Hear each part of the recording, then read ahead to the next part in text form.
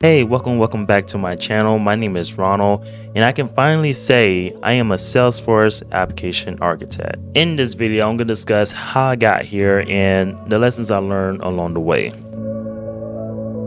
Going to my first certification that I got in Salesforce was the Platform Developer 1. And this one is when I was at a company like four years ago. And essentially what happened was that this company was required of you know get a certain amount of developers with certifications on the project. So i was one of those people selected to get the certification. I was already getting some other training and certifications during that time but this one was you know put onto my radar. And essentially what happened was i did some research on regards to it really liked it and i was like yeah i pick it up. Why not? So you know before i actually you know start working in salesforce i was actually you know, doing getting the certification, I already had programming experience behind it, but I had no clue what you know Salesforce was and what I was doing in particular. And with that particular exam, you had to know some fundamental things about that exam. What happened was I was studying with someone during that time. They took the test first try, all willy nilly, passed it. Great for them. I took the test the first time,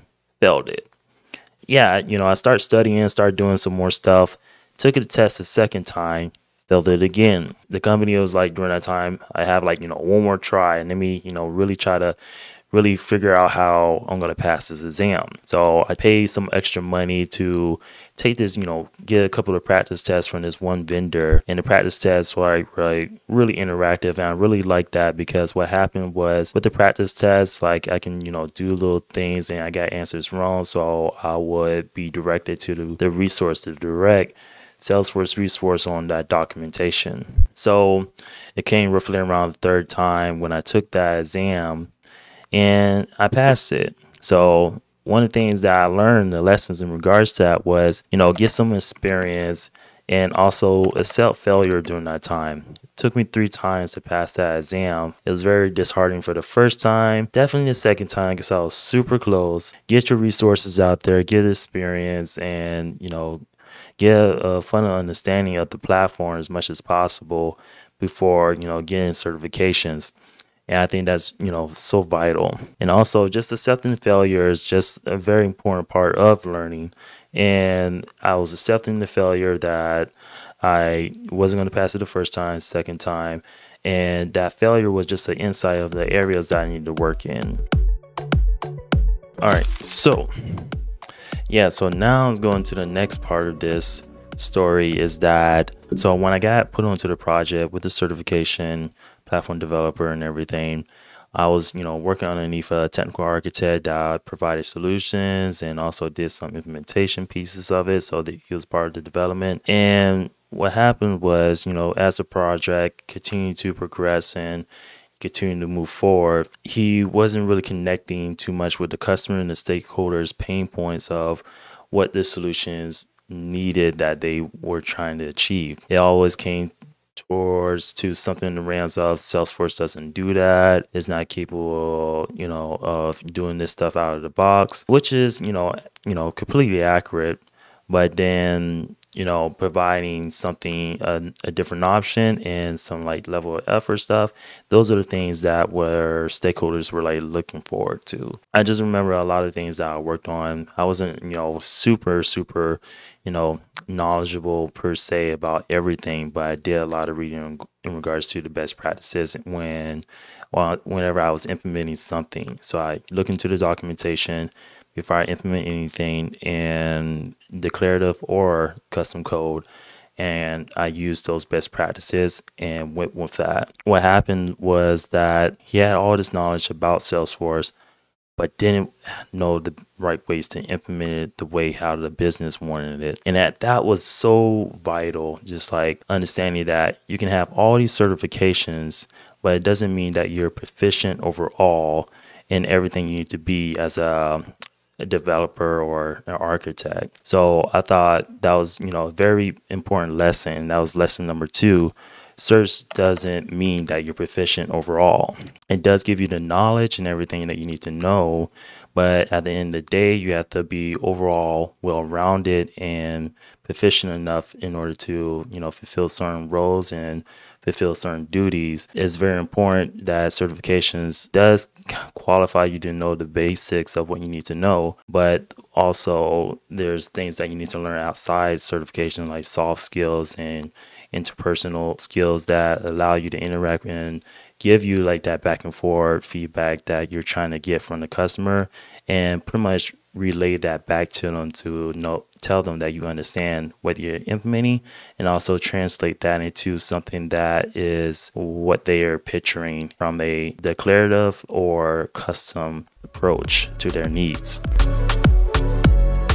So this kind of goes into the next piece of my journey is that for the longest I didn't get any other certifications and but I was very purposeful in the direction of where I wanted to get certifications when the time does come to get certifications. So during that time of almost three years since my first certification in Salesforce, I told myself, you know, I wanted to get very proficient in data modeling. I want to get really proficient in understanding the sharing model. I really want to get really proficient in just understanding some basic declarative stuff that Salesforce allows you to do and know those things in and out. So during that time, I spent all that time to you know really focus on that.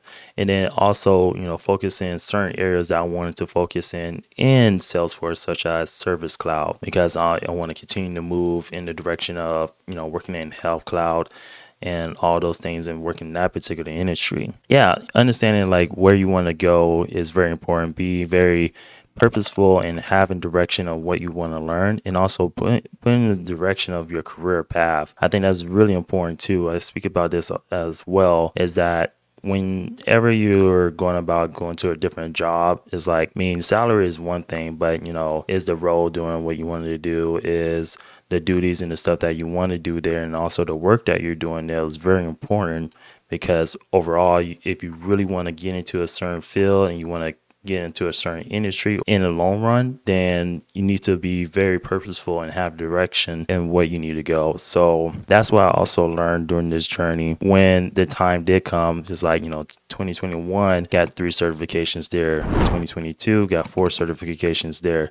And now we at this present moment of now I have a total of eight certifications and it wasn't easy. Like I failed a couple of them. Now I'm here with the application architect certification and I'm really happy in regards to it. It's like it's a really great know, feeling to know where I was, you know, starting at and where I wanted to go, and now I'm here at this particular level, but I'm not done yet.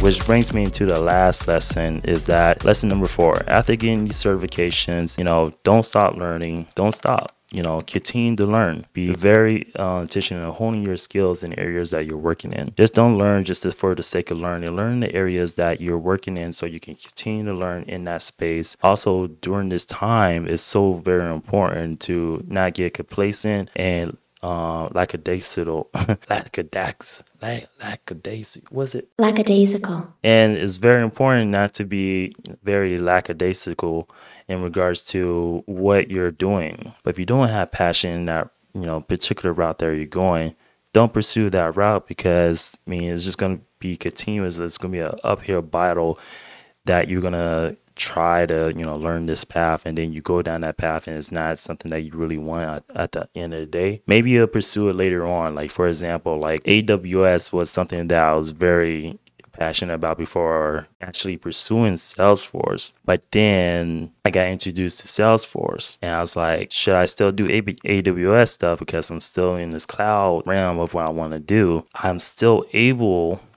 at the end of the day to look into using those particular tools with AWS or GCP and so on when I'm doing my own personal projects. So I kind of looking in that aspect is like I, I can still go that route if I really want to, but right now it doesn't make sense for me to do it.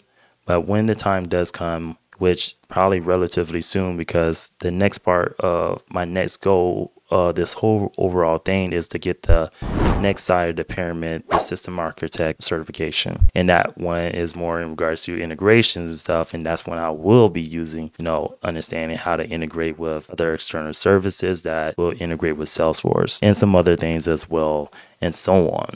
So I hope this helps out with your journey and you know just let me know down in the comments if you know if you have any questions in regards to any of the certifications that I got and also if you like videos like this make sure you like and subscribe peace Dang it, dang it, dang it, dang it, dang it. Ugh. I feel like I got it the first time.